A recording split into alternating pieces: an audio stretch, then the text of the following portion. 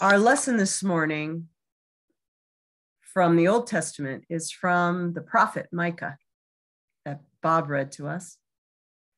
Micah says, Someone who is to rule in Israel, whose origin is from of old, from ancient days, will come forth from Bethlehem. That prophecy is about the coming of the Messiah who would bring the people back to Israel, back to God, and bring peace and security. Something that people had been waiting for for a very long time. The Gospel of Luke tells of Mary's visit to the home of her relative, Elizabeth. As a reminder, I want to take you back to the beginning of the story because we sort of started in the middle. Luke begins with the story of Elizabeth's husband, Zechariah. Zechariah was a priest and he was in the sanctuary doing his priestly duties when he was visited by the angel Gabriel. Gabriel told him that his wife would bear him a son. Well, Zechariah had a little trouble at first. He pointed out to Gabriel that they were both quite old. And he wasn't so sure that this was possible. Then in verses 24 and 25, Luke tells us after those days, his wife Elizabeth conceived. And for five months, she remained in seclusion hidden. Elizabeth said, This is what the Lord has done for me when he looked favorably on me and took away the disgrace I have endured among my people. So you might wonder why was Elizabeth disgraced? Because she was barren. She couldn't get pregnant until now. So she got pregnant in her old age and she remained hidden for five months. Then Luke tells us in the sixth month, the angel Gabriel was sent by God to Galilee, to Nazareth, to a virgin engaged to a man whose name was Joseph of the house of David and her name was Mary. And Mary set out and hurried to a Judean town in the hill country where she entered the home of Zechariah and greeted Elizabeth. So here we have an old woman who tried her entire adult life to get pregnant and couldn't, and a young virgin who got pregnant for some unknown reason, unexplained reason, except for the presence of God. I can tell you quite certainly that if I, as an old barren woman, got pregnant all of a sudden, I would not be happy about it it would not seem like a blessing at all. Definitely would not seem like a blessing.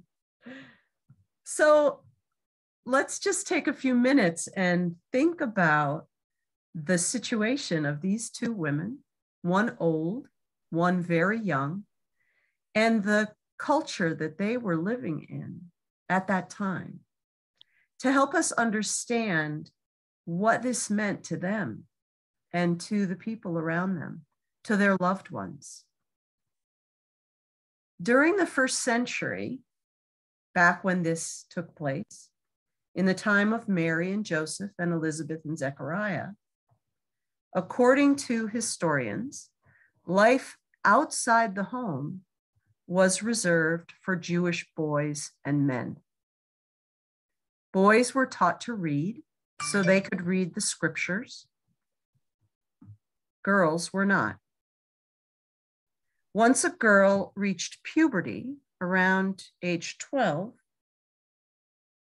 she was eligible for betrothal and marriage.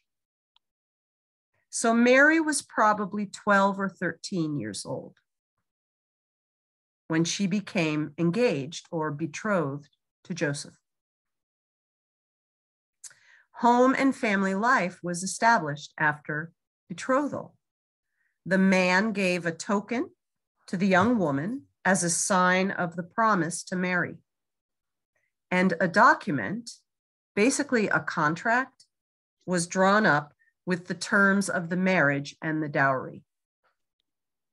At the time of the betrothal, the young woman's property belonged to the man. And the marriage would usually take place after about a year to give her time, basically, to get used to the idea. So, what did people do to earn their daily bread? Well, we have some hints in the Bible. They worked the land, they were trained by the men were trained by their father to be a carpenter or a tent maker or a potter. And the women were expected to produce children and to take care of the home. A man could divorce his wife if she was unable to produce children for 10 years.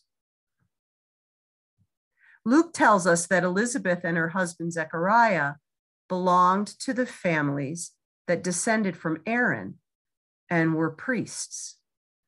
So Zechariah was a priest, and it was expected if he had a son that his son would become a priest. But she could never get pregnant to continue the family line for years and years until now. We need to understand that during that time, there was no knowledge of medicine the way that we understand it now. Mm-hmm. People didn't know what germs were. They didn't know about hormonal fluctuations or other issues that, that can cause infertility.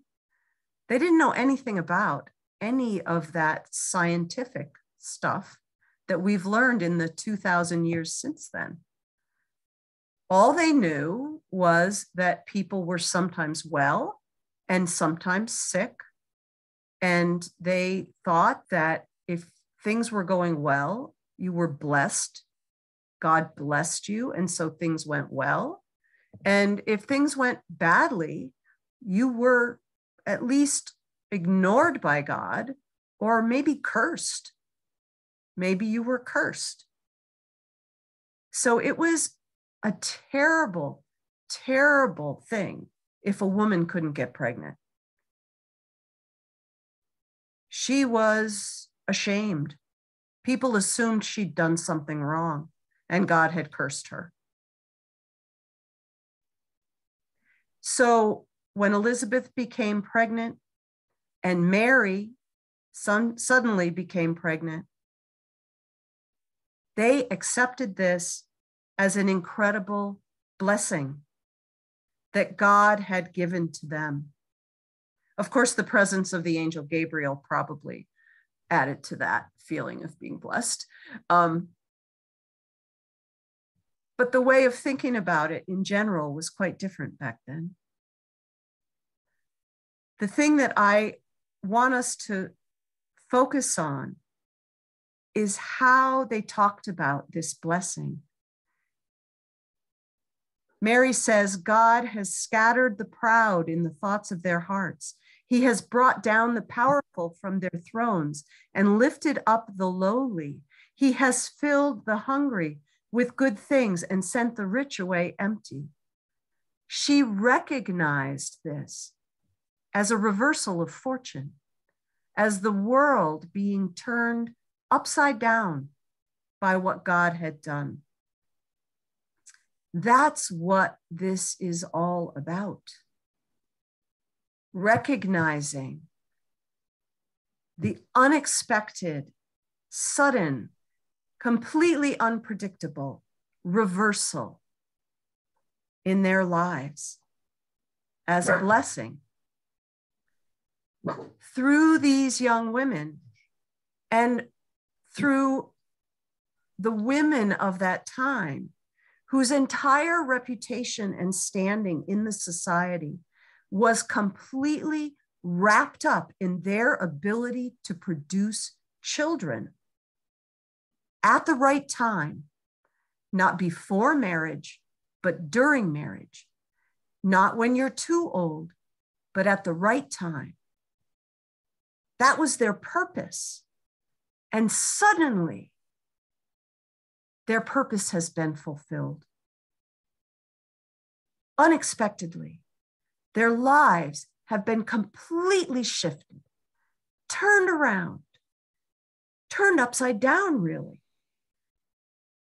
They could have taken this sudden change as a tragedy, that they weren't ready for it. What has God done to me? But they didn't. They took it as a blessing. And where did this incredible thing happen? Was it in the holy city of Jerusalem? the magnificent, magnificent holy city of Jerusalem? No, it was in a tiny little backwater town called Bethlehem. So, how can this help us in our journey through life? Things have changed a lot since then, but a lot of things have stayed the same. Do people still feel a sense of failure if they don't have children? Yeah, they can. I know that personally. Even if a couple has done amazing things with their lives, or a single person has done incredible things with their life, there is still pressure, societal pressure to have children. And it's hard often to take what God gives you, to take what life gives you and find the blessing. But that's what God asks us to try to do, to find the blessing.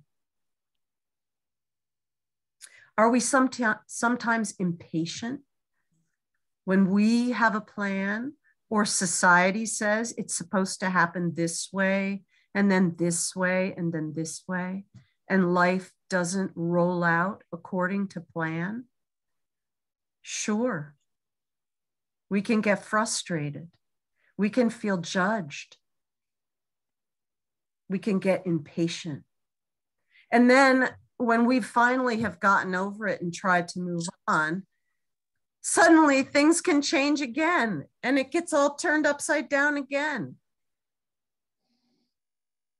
And we can have a hard time accepting sudden changes in our lives, accepting them and looking for the blessing, trying to find a blessing in what has happened. Recognizing that as much as we try, we can't control everything. Do we sometimes feel disappointed during this season, this holiday season? Because things don't happen according to our plans, our expectations? Yes, we do. We get so caught up in the thing that we want to happen the way it's supposed to be, so perfect that we can't enjoy what actually does happen. Be there and find the joy and the blessing in what does happen. So that's our challenge to find delight in surprises, to find the beauty in whatever happens. We need to ask God to help us take life, search for the blessing, and find joy in the unexpected. If we want coming home to be a blessing, we need to ask God to help us with the unexpected reversals within ourselves, too. We need to pray that God help us to scatter the pride of our thoughts, of our hearts, and bring us down from our thrones when we get a little too high and mighty.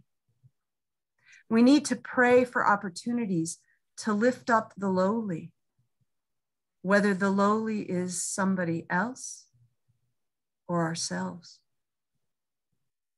And we need to pray that God will help us to hear the voices of people around us who are hungry, whose souls thirst for joy. Elizabeth and Mary, these women who lived a very, very long time ago, in a place very far from where we live and very different. In their time, women were almost completely powerless. Their lives were completely shifted during these events. These pregnancies were thrust upon them they had no say in it. And they accepted it. They rejoiced in everything that God did. May God help us to do the same. Amen. Amen. She can't hear you. I muted us. Our hymn is My Soul Gives Glory to My God. I muted up. 98.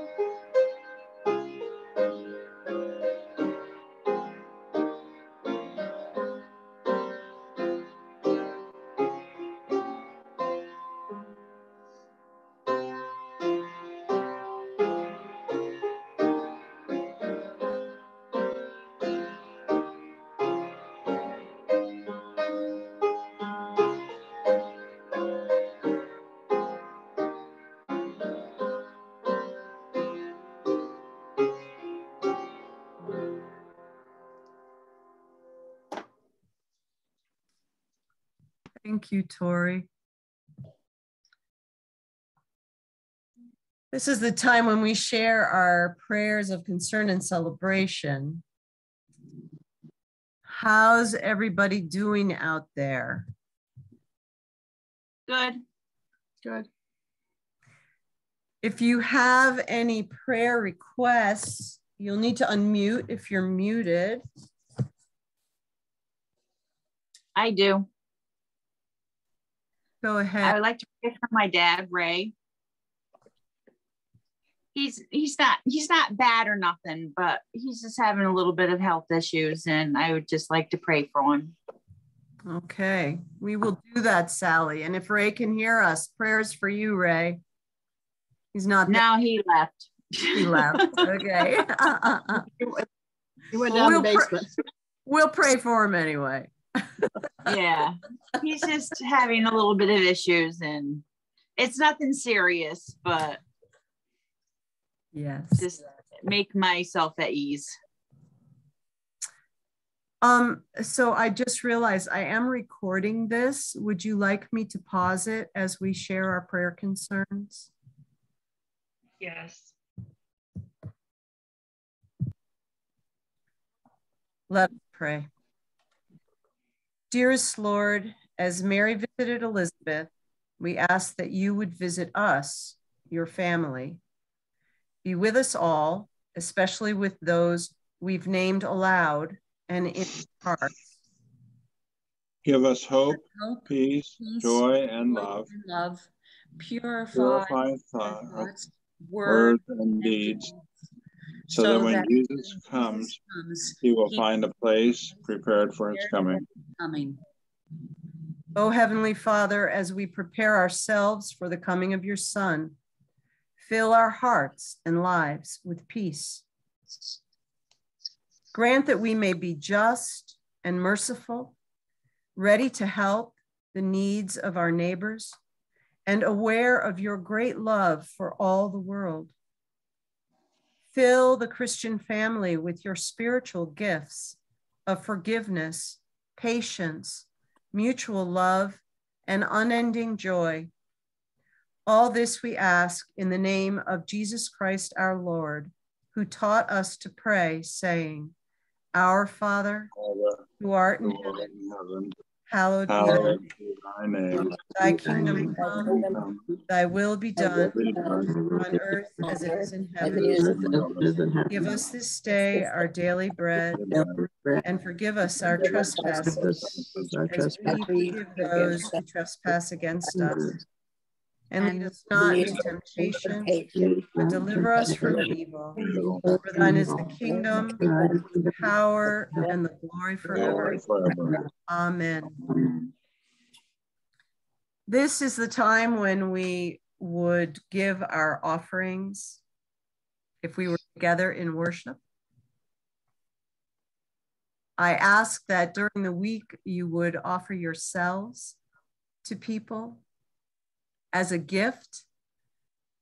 Spread the joy of the season, spread the love of Christ when you interact with people the happy people, the joyful people, the grumpy people, the hassled people, the people in a hurry, no matter how they are, no matter how this season is affecting them, share the joy.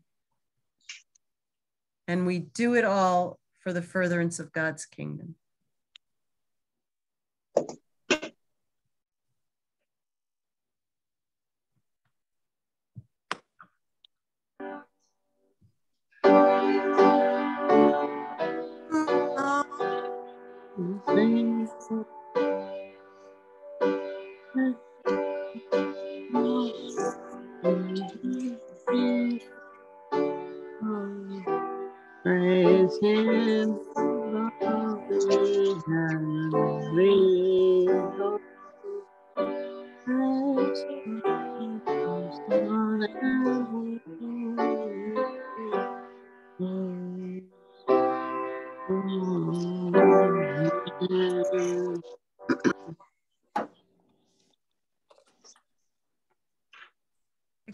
Gifts, Father, the gifts of our heart, the gifts of the abundance that you have given to us. Amen. Amen. And our closing hymn is Good Christian Friends Rejoice. And it says Christ is born today, and he's not yet, but soon, very soon. News,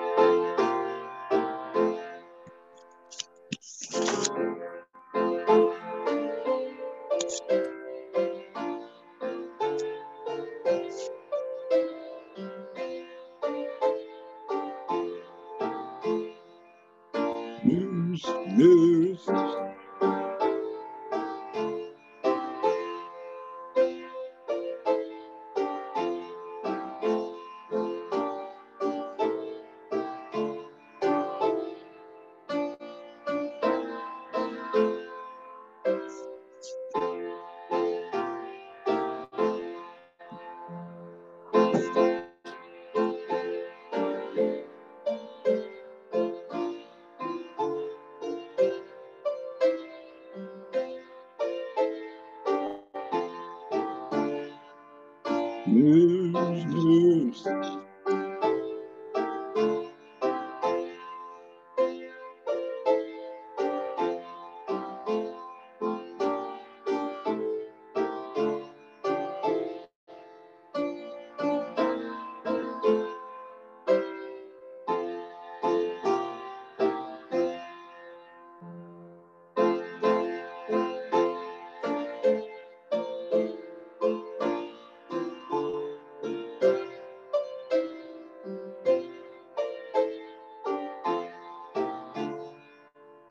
News, news.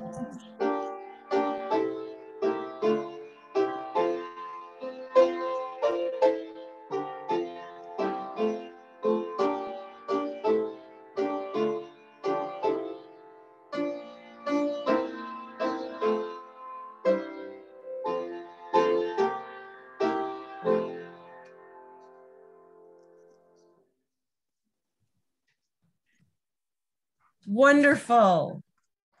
And now hear the benediction. Brothers and sisters, good friends, rejoice. You need not fear the grave. Go in peace to love and serve the Lord. Amen. Amen. Amen. I hope to see all of you either December 23rd at East Lemon at 5:30 or December 24th at Lemon at 7 or both if you're feeling like you really really need to hear things twice. It'll be basically the same service at both places. But we're looking forward to it. Me too. Thank you. You're quite welcome. And uh, be healthy. And please, um, when you're out in public, just wear a mask just in case. Sure. Let's try to stay well. Amen. Bye bye, everybody. Bye. Bye.